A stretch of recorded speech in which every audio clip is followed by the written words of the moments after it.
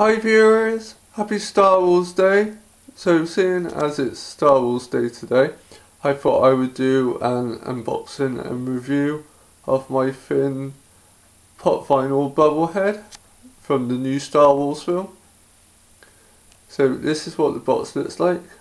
As you can see at the top you got the pop logo and the Star Wars logo and he's number 59. You can see a little picture of him on the side. And his name, Finn. So on this side you've got the pop logo again and his name Finn and his number number 59 and a picture of him popping up from the bottom.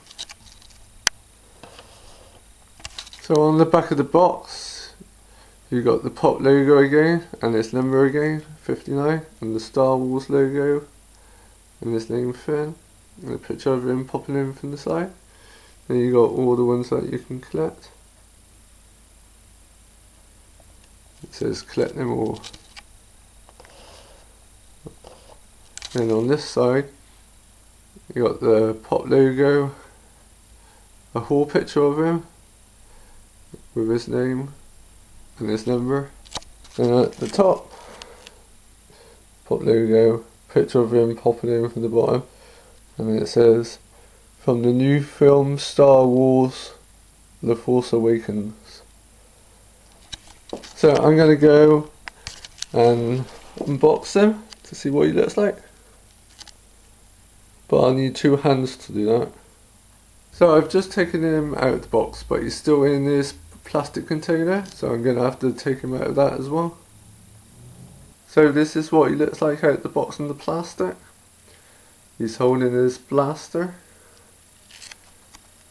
As he is a bobble head, his head can bobble up and down. You can also take him off of the base as well. Like that.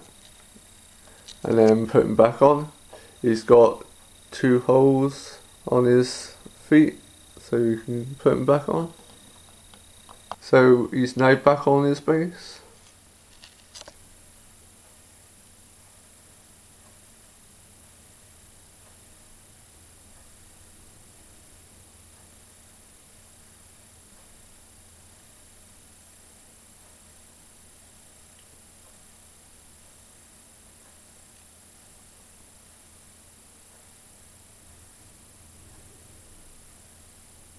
I hope you enjoyed this video of me unboxing and reviewing my Finn pop vinyl bobblehead.